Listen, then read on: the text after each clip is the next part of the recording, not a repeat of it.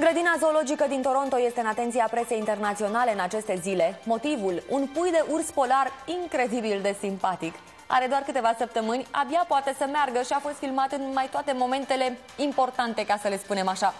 Cum ar fi cel în care îngrijitorii se chinuiesc să-l facă să mănânce din farfurie și nu din biberon ca până acum.